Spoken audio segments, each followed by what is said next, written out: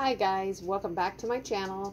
I just wanted to give you a follow-up video and this is from the previous Dollar Tree visit and they have, as I mentioned, a great craft selection area. It's all new and updated and there is so many paints and there are so many brushes and so many different materials they have for creating things.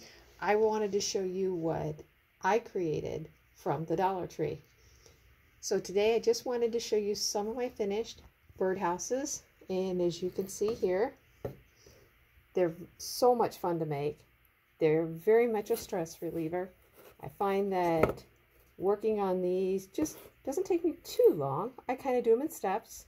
Actually, what I do start with is just your basic paints, paint the solid colors. Then the next day, go through, maybe add some vines, do the roof. And at the very end, then I'll go back and put the color on.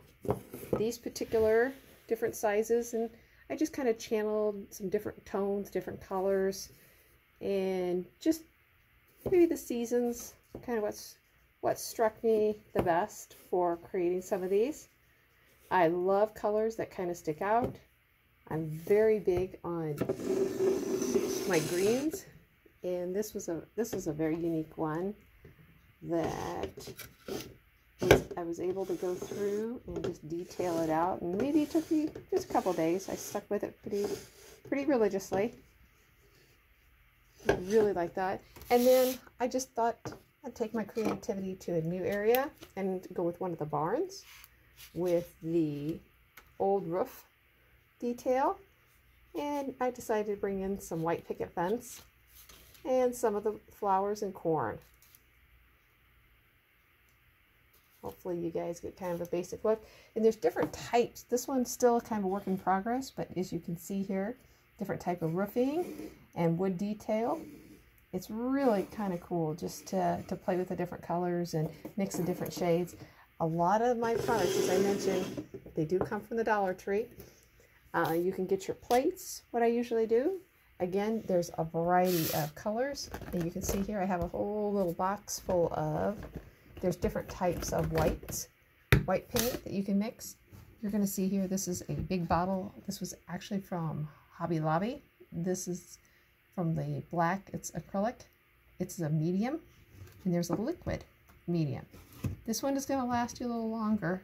This one's just going to kind of help thin the paint out a little bit and go from there. I do get a lot of the basic colors that we work with. And then in the bigger tubes, as you can see here. And these are the colors that I like to interchange with. And then they had sold a set of just a variety, if you look in here, of different colors. Different color oranges, yellows, greens, blues, red.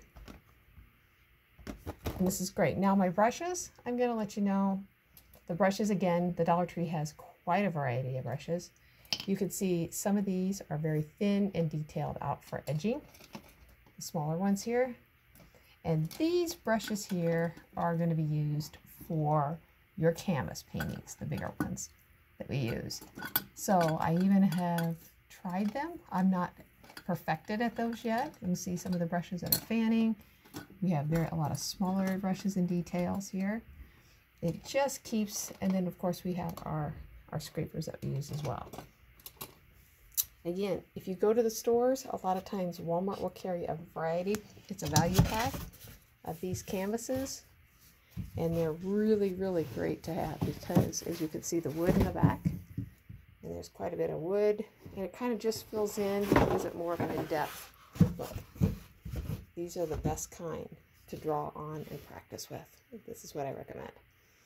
So again, try these out um, give it a shot. We have, they have, the dollar store has the words in the wood. They have different shapes of butterflies as you see in the previous video.